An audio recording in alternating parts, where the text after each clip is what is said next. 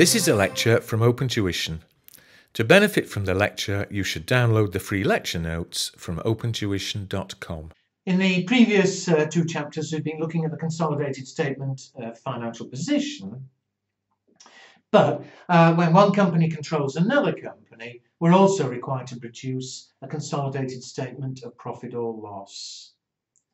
Uh, and in a similar sort of way to the statement of financial position, uh, we do show the total uh, profits of the group as a whole, but then we are required to show how much of that profit uh, belongs to the non-controlling interest, how much of it belongs to um, the shareholders in the parent company.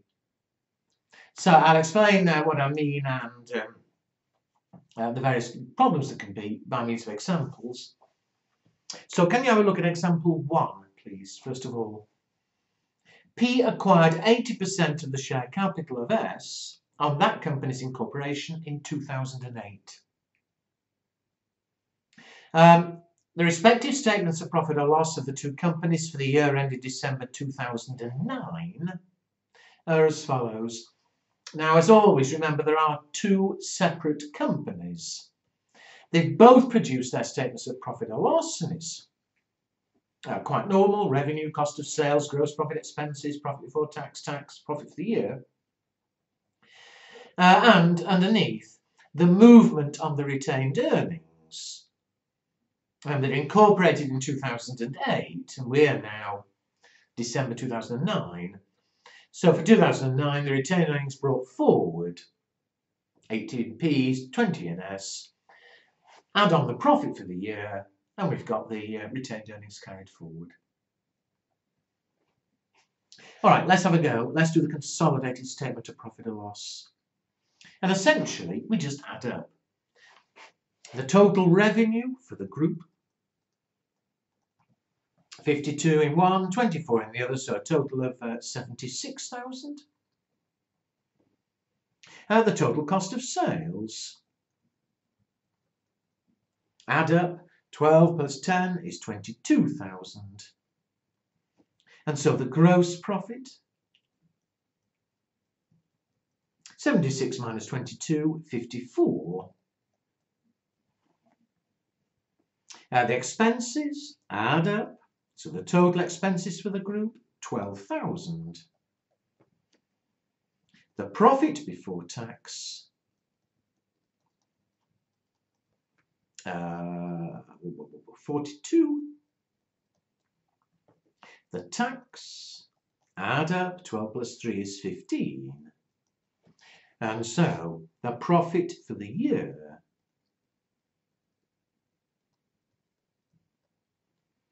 Fifty-seven thousand. Oh, sorry, I'm going the wrong way. Forty-two minus fifteen, uh, twenty-seven thousand.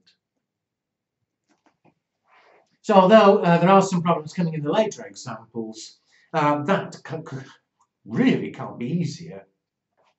It's just uh, adding up the two statements. However, that's the profit for the group as a whole.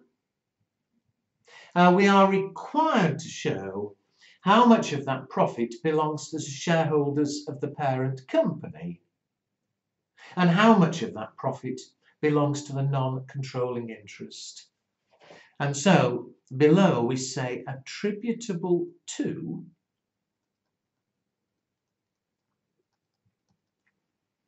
uh, shareholders of P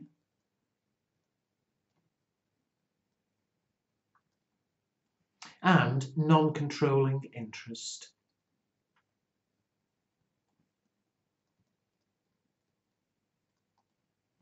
Uh, now, the way I'm going to approach this may look rather strange, but this is the way we do it.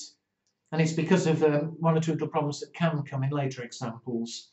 The total profit is 27,000. Uh, the amount attributable to the non-controlling interest.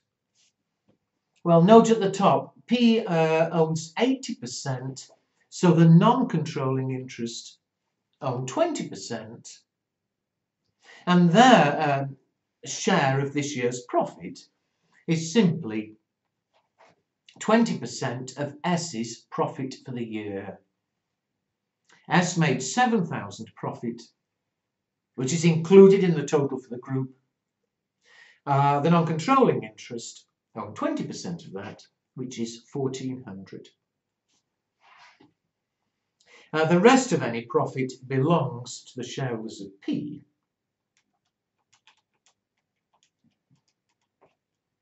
which is 25,600. Now, uh, you can work that out separately. I mean, it's obviously P's profit plus their share of S's. However, the way we do it always is that's effectively just a balancing figure. Total profit is, for this year is 27. 1400 of it belongs to the non-controlling interest. The rest of it is attributable to the group. Uh, note all, also, uh, this won't always be asked, but it is here. It says, prepare the consolidated statement of profit and loss, which I've done, and the movement on retained earnings for the P group. And so, the movement on retained earnings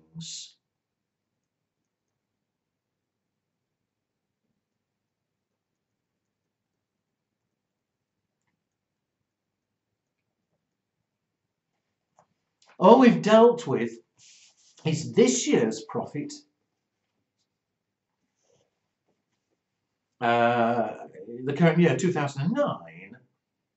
Uh, for the moment, movement on retained earnings, uh, we want to show effectively the retained earnings as they appear in the statement of financial position. And so the brought forward figure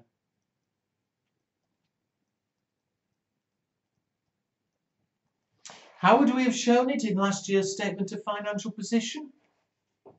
We'd have taken all of um, P's, 80,000, plus P's share of post-acquisition uh, earnings in S. Well, this company, um, P acquired the shares on the incorporation of S, so all the retained earnings are post-acquisition. And so P's share of S's post-acquisition profits 80% of 20,000 is what? 16. So all of um, P's 80 plus 16 from S, 96,000. Add on the group's profit for the year, Well, remember we're showing the movement on retained earnings for the group as a whole. And the profit for this year is the retained earnings figure in the statement of financial position we're after. Uh, and it, therefore, uh, attributable to the shareholders of P is 25,600. Uh, giving retained earnings carried forward of 601, uh, 121, 600. And that is exactly the same as we were doing for the uh, statement of financial position. How did we work out uh, the retained earnings? Uh, we took all of um, P's plus P's share uh, of S's post-acquisition. All right, let's look at one more example uh, on the next page. Let's make it slightly more interesting. Example 2. P acquired 60% of S on 1st of January 2008, at which date the, returned, the retained earnings were 8,000. The respective statements of profit or loss of the two companies for the year ending December 2010 are as follows. So just like before, obviously different figures. Uh, and at the bottom, the movement on retained earnings. Well, let's have a go. The consolidated statement. First of all, revenue. Well, all the way down, we simply add up. So 85 and 31, 116,000. Uh, cost of sales, add up. Uh, 21 and 12 is 33,000. And so the gross profit, uh, 83,000. Expenses, 12 plus 7, 19,000. And so the profit before tax, 2064,000. And the tax, 16 plus 4 is 20. And therefore, the final profit, 44,000. Easy, just like last time. The consolidated statement of profit or loss, we've just added everything together. Uh, what about um, these two little bits below? We have to show whose that is attributable to.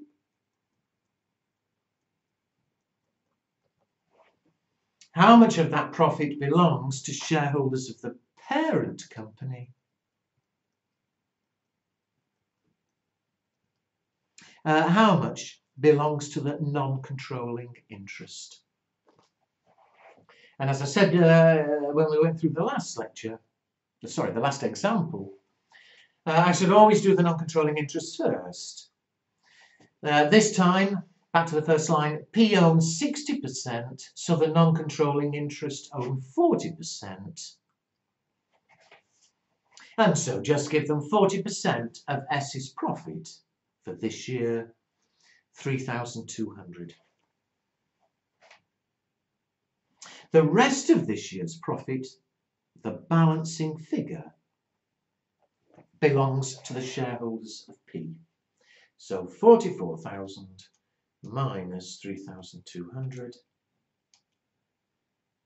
at 40,800. The balancing figure. Well, that's fine. That's just this year's profit. Uh, we're also, though, required to show the movement of retained earnings. And again, what we want is the retained earnings figure for the statement of financial position. So we spent enough time on statement of financial position, but do be clear, it's exactly the same approach, the same workings. Uh, first of all, the retained earnings brought forward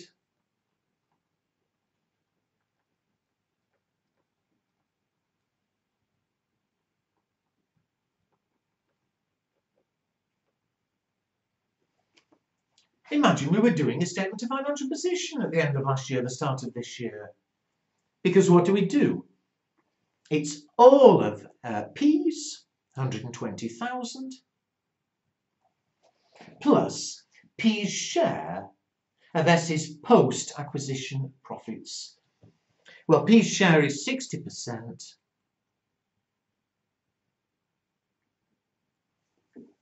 Uh, what are the post-acquisition earnings, uh, retained earnings of S? Well, at the start of the year, the retained earnings were 17,000. But at the date of acquisition, first line, the uh, retained earnings of S were 8,000. And so it's the remaining 9,000 that were post-acquisition. So, um, Post-acquisition, 9,000. 60% of that, 5,400. Add that to the brought forward figure. Uh, sorry, I beg your pardon, two P's retained earnings. 125,400. So that's the brought forward retained earnings for the statement of financial position. Uh, add on the profit for the year,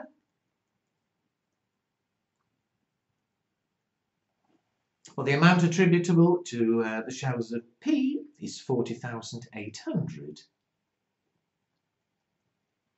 And therefore, the carried forward retained earnings, the figure that would appear in the statement of financial position is 166,200. I think I've got my arithmetic right.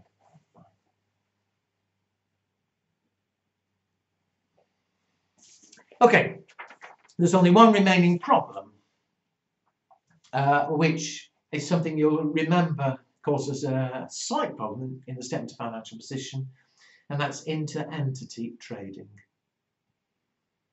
So I'll go through one more example, but we will have a break. I'll stop this lecture here, but the next lecture, I'll bring it inter-entity trading, and then we'll have everything that you, you need for the statement of profit and loss.